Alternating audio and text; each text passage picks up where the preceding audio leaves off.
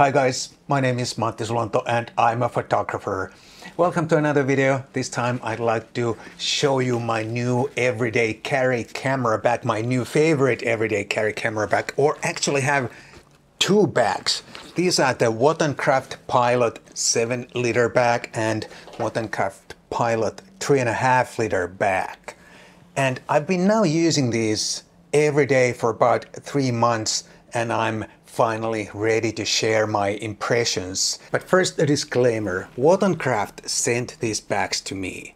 But they did not ask me to make a video. They just asked me to try out these bags. But I decided to make this video because I really, really like these bags. And I thought this might be useful for you if you're looking for a new camera bag. In the Wotancraft Pilot uh, the back lineup, these two bags are sort of in the middle. There is one bag smaller than this, it's a two liter bag. This is three and a half. And then there's one bag bigger than this, it's a 10 liter bag. This is 7 liters. So there is a bag for pretty much every purpose or every situation. I'm gonna put a link to Wotancraft website homepage down below so you can explore all their products. It's not an affiliate link, I get nothing from it, it's just there so you can take a look if you can find something that interests you. According to Wotancraft website, the material is military grade Cordura and it certainly feels very high quality and uh, durable and all that.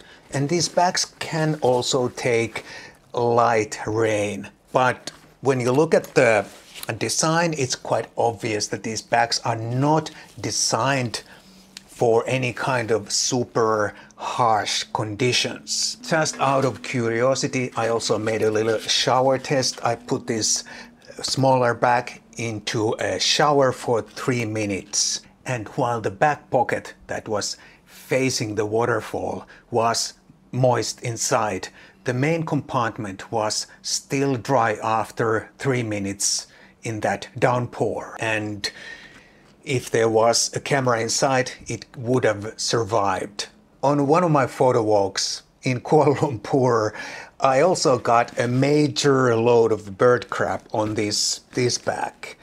And unfortunately, I was too busy to clean the back on the spot, I forgot to take any pictures or b-roll of that incident. However, when I got back home, I took a little bit of water and a sponge and I brushed it uh, thoroughly and it all came off nicely and now it looks like new again. So the surface is uh, quite uh, easy to clean just in case you get some dirt or even bird crap on it. This smaller 3.5 liter bag is big enough for a normal sized camera body with a lens attached to it. And then there is some more room for a smaller camera or another lens or some extra small accessories that you may want to take with you.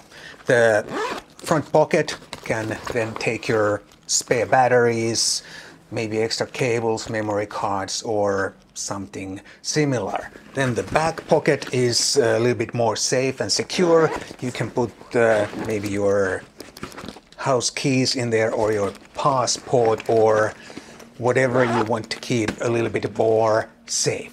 This bigger 7 liter bag can take two camera bodies with lenses attached to them or one camera body and several lenses. It's quite roomy inside here, but of course it's a 7 liter bag and there's only so much that you can fit in 7 liters.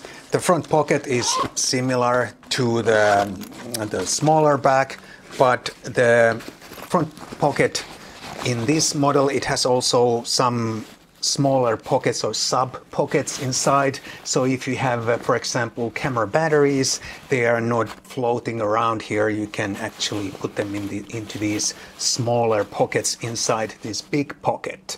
And this bigger bag also has a pocket at both ends of the bag, so you can fit some accessories here. The back pocket is also similar to the smaller bag, and uh, you can put some things here that you want to keep extra safe and secure. The shoulder strap and the pad on the strap has got to be one of the best I have ever seen because the inner surface of the pad is quite sticky and it's not slipping off your shoulder even if you're holding the bag on just one shoulder.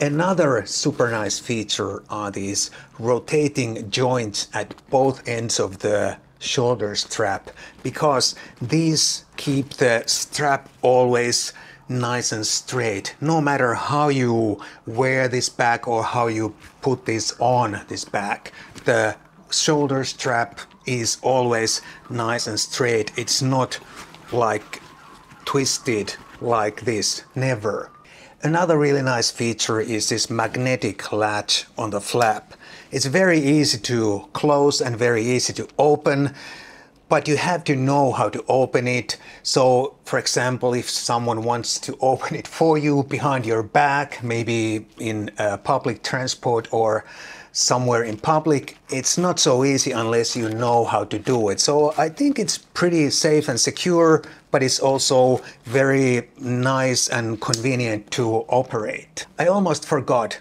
There is a space between the the outside pocket and the main body of the bag.